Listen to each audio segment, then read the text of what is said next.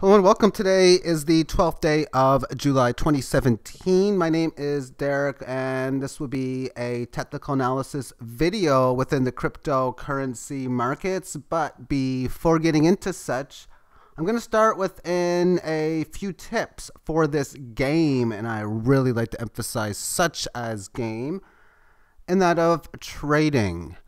As with any game or most games, you have a score score is usually defined by a number. In this case, say in Bitcoins, it's defined in a number. The game is to try to increase that number. And then there's other particulars within the game, like how much your Bitcoins are worth in your current fiat currency, in my case, the Canadian dollar. And even things like how many ounces of silver are in my possession that have been uh, purchased through Bitcoin. For myself, that number is around the 70 number now and it's only going to keep getting or growing higher as this game keeps on playing through. So some key things, the and this is pretty much for almost any gambling game, is do not play scared money, and this is going to go on the emotions as well.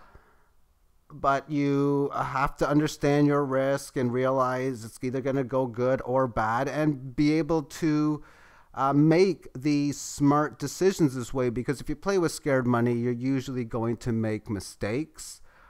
Recognize and understand the situation. This and that's, that's for like so many different things. Whether it's a situation of a market that's going to go higher or lower, a situation for what you need to do with maybe your bankroll. Maybe you see there's a spot where you can uh, sell at an amazing price and you can do this and that afterwards and then you because you understand it and recognize it then you basically follow through from such and you find any opportunities that are available. And you do that by understanding its opportunities within its uh, situations of course. Emotions leave them at the door. This goes with the first one and not playing with scared money.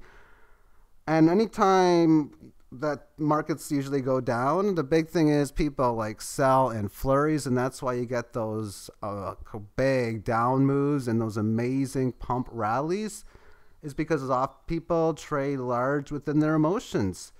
And the base one is people, things are getting so high, they think it's just going to keep going higher and higher. And people make some interesting buys probably when they should think it over uh, through and maybe even pass on selling at different stages because emotionally like oh man this is going way up but it's going to go up more kind of kind of thinking as well. And if you're losing getting some losses and then they do what you call tilt betting that can often make uh, even poor decisions there. So i have to highly uh, state that emotions you got to leave them at the door and the next two is basically game theory for any game, whether it be like physical co- contact, competitive sports, anything with an opponent.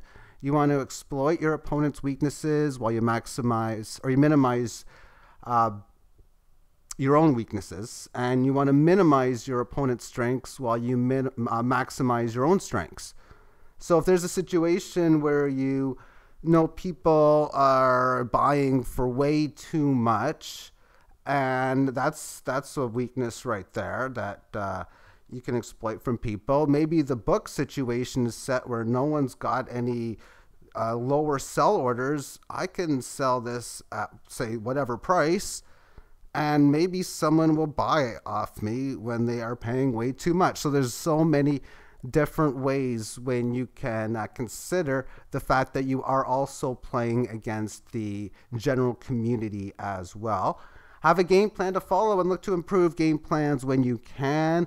And that's understanding your strategy, how you get in, how you get out, how you are managing all of your different funds, how you are profit taking, all these different mechanisms in which you are playing with. And then you say, man, if I add this to it, or if I, if this, this could probably increase profits if I do this, and that's making your game plan better.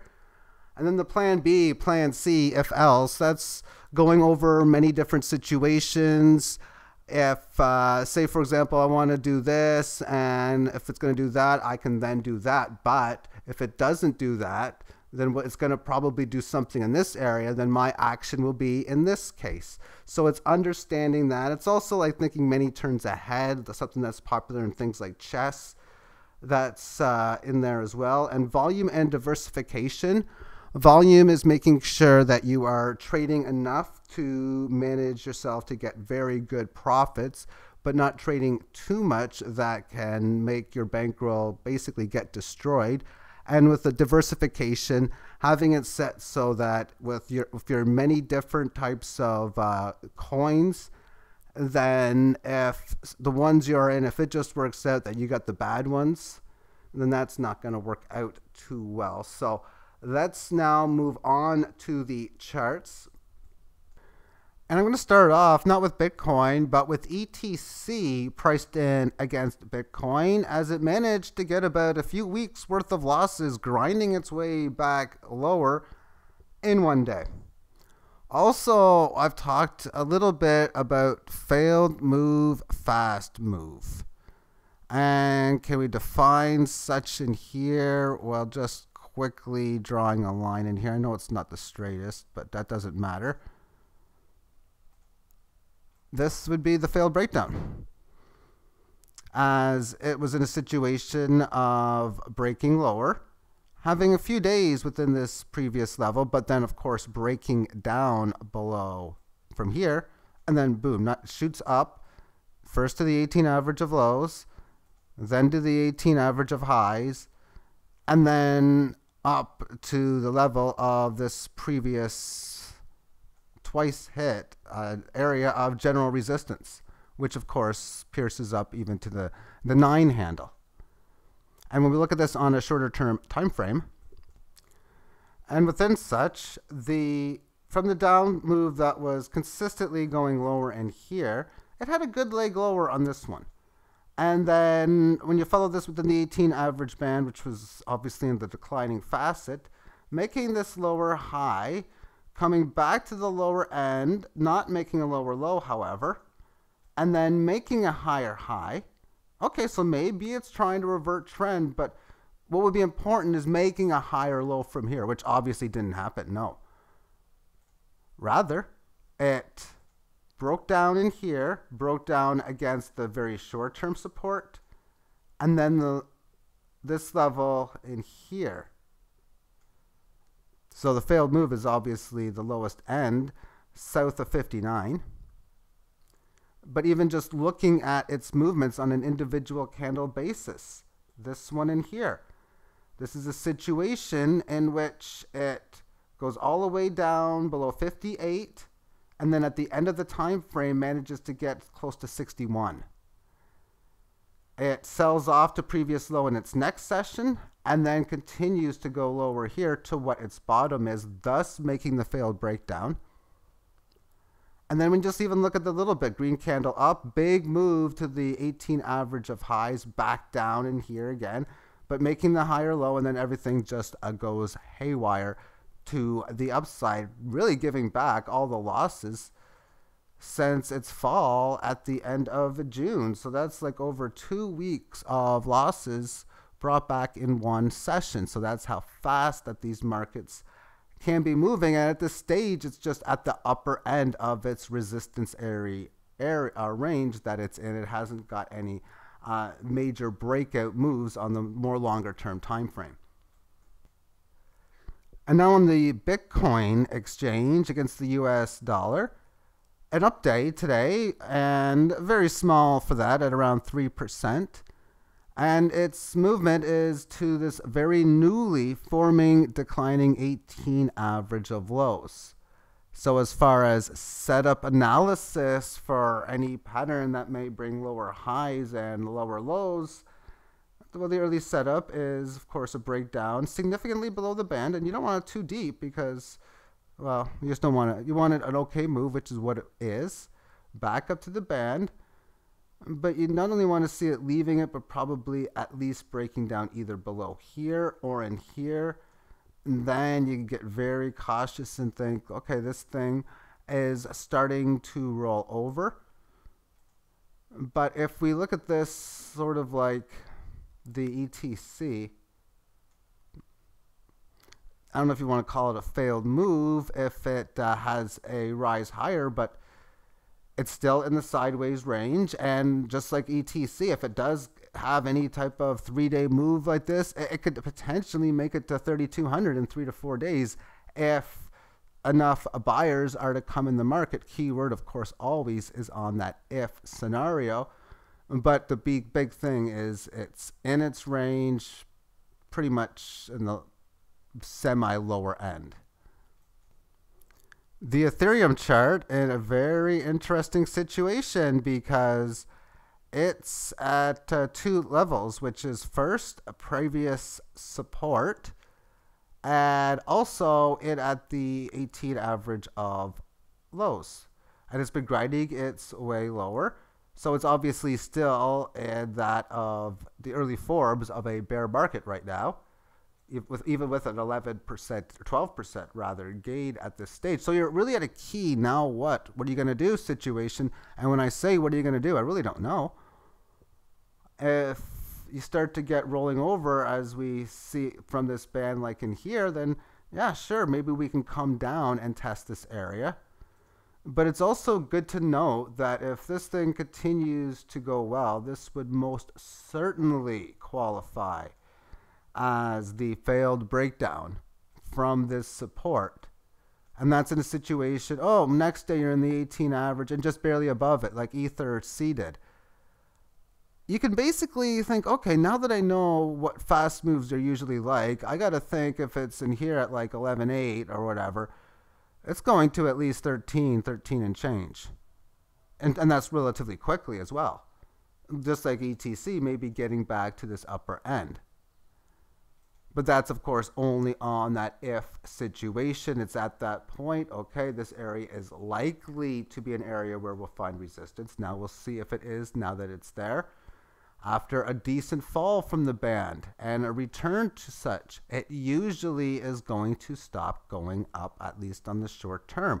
And if it does that, stop going higher, and yet over the next little while is able to hold well above its low established in this point and stays in here, then you're, what you're going to do is develop some sideways consolidation, making it like, yeah, well, you were supposed to stop going up here and you did and then you go higher. That's kind of normal market movements when you're able to correct a move through time. So you have a nice little rally and this is what it shows in the long term. You correct it through time rally time rally. And so far within this with, with this extra lower low that's why this would be the failed breakdown if it has a quick move back above the 18 average of highs Litecoin is next, and it's doing everything you'd want to do by the book as well. The book I'd write, although I don't have no motivation to write any trading books. However, if I were, you have a situation of this beautiful rally. You want to you want to stop going higher, and here's the correction through time. Maybe you can call this a failed breakdown again, but either way, correction within this band, extend the high, correcting going sideways. How do we see this in current form? Well, after what was a cumulative of five days within the band, you come up here, little rally, come back down. It's having another attempt of leaving this band within these two levels of resistance. But you're in a nice bullish trend that every single time that you've gotten these decent moves breaking out, there's one in here, there's one here, there's been a lot of good things that have happened when Litecoin has broken out from the 18 average of highs in the rising fashion. Moving on to Dash, and what's been consistent since the middle of May is the 18 average really hasn't done any declining fast. It's yeah, a little bit in here, but it's been in a beautiful uptrend, which means the market has been making higher highs, higher lows. We have this significant low in place. We've already placed in these highs. So leaving out above here means, okay, this is a test of this key level. And quite frankly, there really isn't that much up until previous high breaking through. The only key resistance points are ones that it would create on its own. But it almost looks like it's a free run to the previous high of around the uh, 0.12 handle uh, on the break looking at strat now, and if you look at this percentage gain, 43%, at least from this low it is. Maybe not necessarily from here. However, that's a big move from uh, 100,000 Satoshi upwards to 182. It's not at any key points other than this short-term level here. I mean, you'd be thinking it's it's got to go here, and maybe it will, but it is at a couple of key levels. I mean, one's the 18 average of lows. And if we take the Fibonacci from this high and this low, and then we get a key number in at uh, 1750 and 2550. So it's already pierced a little bit above that. So that's at a key area which uh, should have an area where it stops going higher. And if it does, then you'd probably go fast to the next level. That's at the 25. And it usually would pierce above that. So you'd be talking closer to 26 to 27 if you want to try to make the most aggressive sell orders in at this level. Just like now, if you wanted to sell at the key fib, even though it's the 170s. Okay, 183, 182, 185. It works out within this band right now. And then, of course, look, what I usually do is I would sell here. And then I would probably try to buy back in here. I would determine the message of the market if I want to buy on a higher low, a matching low, or a lower low. I think in this case, I would take the higher low. Let's move on to ZEC, up about 16%. However, it is below the 18 average of low st still, so it's moving into a. Uh, it's going to need some more upward action to get a proper price correction, or a few more days, a couple more days going to st of staying at the 90 handle to be uh, correcting through time as well. However, if we look at where it should go, it could it could very easily make a move up to this point, especially when we look at the Fibonacci from like we did the last chart from this low and this high. What I've come up with is key areas at around the well even 10 and the 12 number. So the even 10 is right in here. Oftentimes I'll pierce it, but it would match in within the 18 average band as well. So I think it's got a decent chance of furthering its gains another 10 or so percent. And if it can extend past that, the 12 handle would work within this previous support mark at the end of June as its next key point. And I'm going to conclude this recording with Sia coin. This is something I bought last at 333 but I didn't sell on the way down, and I haven't even sold it yet. I still own what I have bought at that price handle, as I want to sell a little bit higher than that. However, I kind of wonder why do people sell down here? At what point could you have bought where it's a smart decision to sell as it was breaking down below here? I can't figure it out. But my trading mechanism is if a market's going to go down, I don't want to be a seller on the way down. I want to be a buyer on the way down.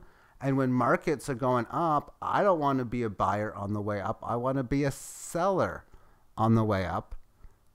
So that's basically how the basis of my buying and selling works works out. And uh, there'll be times where I'll be like, oh man, do I sell here? Yeah, and that that's a different story. But other than those types of situations, I normally just wait for markets to go down. I've bought in a lot in the previous few days.